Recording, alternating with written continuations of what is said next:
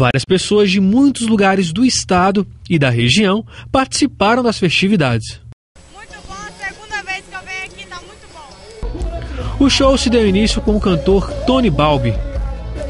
E logo após, foi a vez de Felipe Fantin agitar a galera. O público curtia muito e fazia do evento um verdadeiro espetáculo. Sucesso total, festa bem organizada. Agradeço as pessoas que estão vindo para a nossa cidade. Oitavo Mucurici na Alto Forró, excelente. Nota 10 para todos nós e para o público que está aqui presente. Logo após, o momento mais esperado da noite chegou. E a dupla Taeme Thiago fez explodir o público.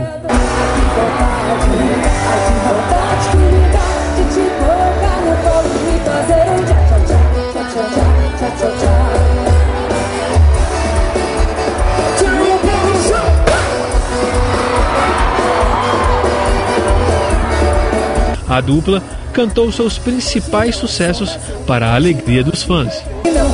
Seu, hoje não, me perdeu,